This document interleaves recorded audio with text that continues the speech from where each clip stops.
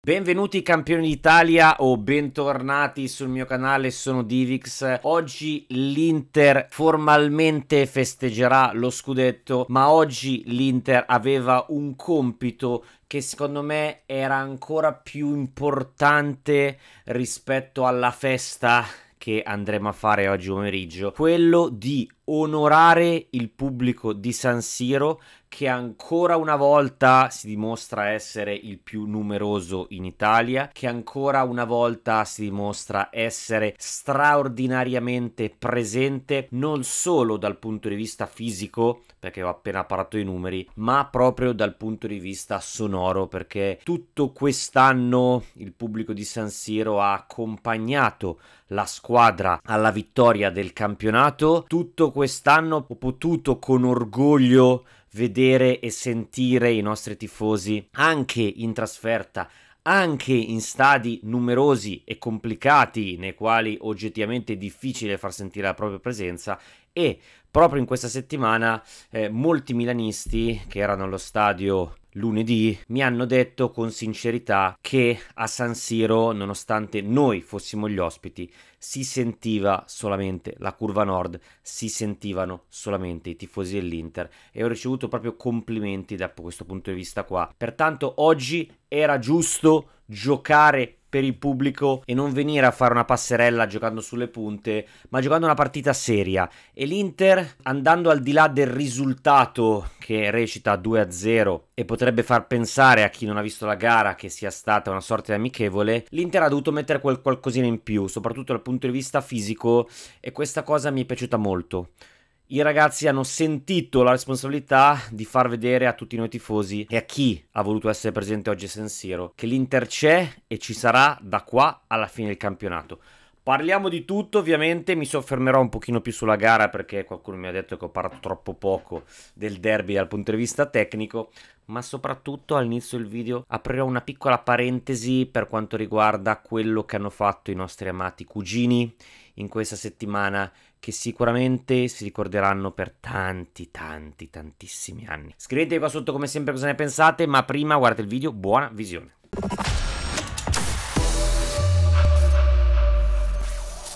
Il video inizia proprio con questa grande, grandissima parentesi, perché avevo, prima di questo derby spettacolare vinto che ci ha consegnato il ventesimo scudetto, la convinzione che in Italia esistessero tre grandi top club che fossero su un altro livello rispetto agli altri e ho sempre pensato che Juventus, Milan e Inter fossero proprio dei club di elite. Ma non è solamente questo che contraddistingue una grande squadra da una piccola squadra, ma è anche l'atteggiamento, la signorilità, il saper vincere, perché bisogna saper vincere. E purtroppo i tifosi milanisti ci hanno dato la dimostrazione di non saper vincere perché le scene pietose che abbiamo dovuto subire gli sfottò ben oltre le righe abbiamo, a cui abbiamo assistito due anni fa sicuramente ci avevano già dato la dimostrazione che loro non sapevano vincere o comunque non hanno saputo cogliere l'occasione per dimostrare che sono dei signori e che sapevano vincere.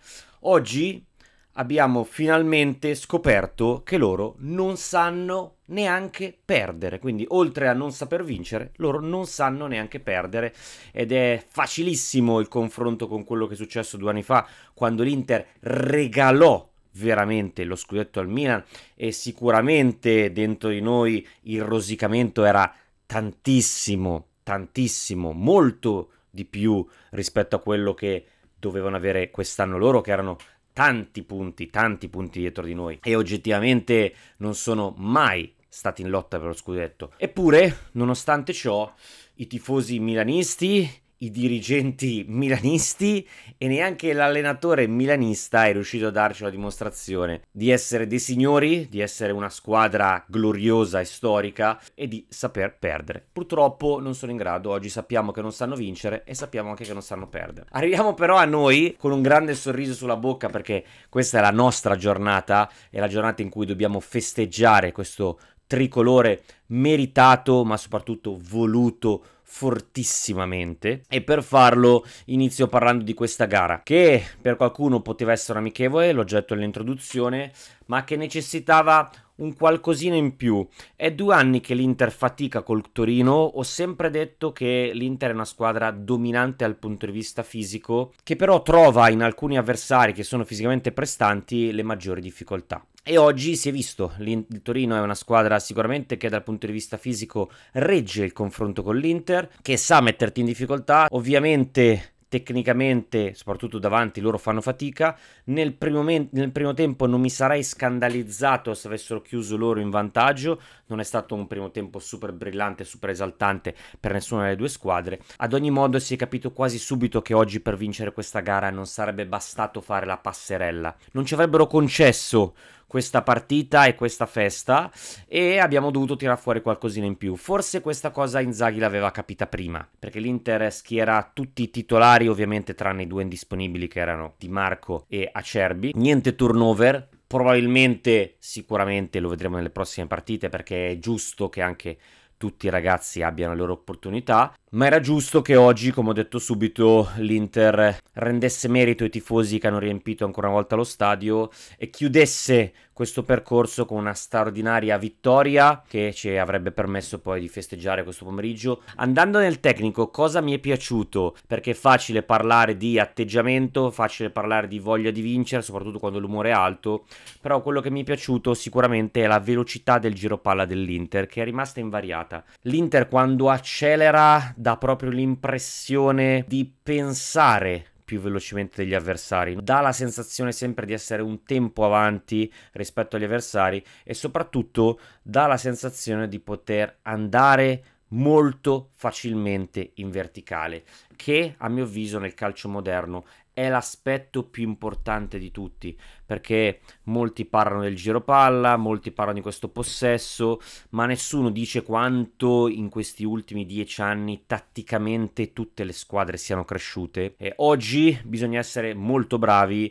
e l'Inter è brava e non è un caso che sia la 34esima partita che l'Inter va a segno, perché parliamo sempre di questa difesa straordinaria, ma dobbiamo parlare anche di questo attacco straordinario, perché l'Inter segna e lo fa con costanza e facilità. E questo secondo me questa sera si è visto benissimo, e cioè come i centrocampisti riescono a trovare la giocata e io penso che il vero switch quest'anno sia arrivato proprio con Marcos Turam, che è un giocatore su cui l'Inter si può appoggiare, come sicuramente faceva con Lukaku, ma che ha nei piedi molta, molta più qualità, riesce a pulire molto meglio i palloni e poi riesce a fare anche quel lavoro, cioè di prendere palla e venire su e portare sulla squadra. Quindi credo che lui sia veramente la fusione perfetta fra il primo Lukaku e l'ultimo Geco, cioè sia la combinazione di questi due giocatori che ha permesso all'Inter di fare un upgrade rispetto all'anno scorso, a mio avviso straordinario. Mi piace vedere anche Lautaro Martinez che ovviamente non è riuscito a segnare e si percepiva questa sua voglia di